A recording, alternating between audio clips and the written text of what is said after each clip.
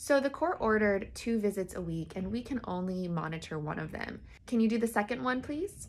Oh, I didn't realize um, that was something that foster parents do. Is that a requirement? Not a requirement per se, but many of our foster parents do step in to help when needed.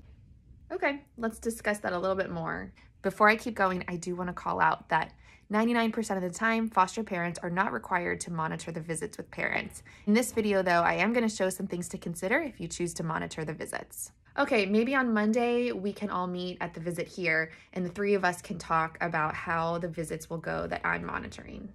I'd love to have all the rules in writing for us to talk about together. And just given all of the appointments that we're already doing and my work schedule, I will only be able to do this for four weeks. Hopefully by then, staffing will be all worked out to fulfill the court order. Consider from the beginning setting boundaries and being firm in what you can and cannot do. It's really helpful to get all the rules in writing so that expectations for you and the parent are clear. So on Friday, we're gonna do something a little different. We're gonna go to the McDonald's play place with your mom, and I'm gonna be there too.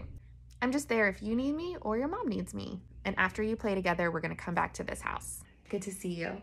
So just as a reminder, I'm required to be within eye and ear shot, and I do have to type up notes for the visit and send to the worker.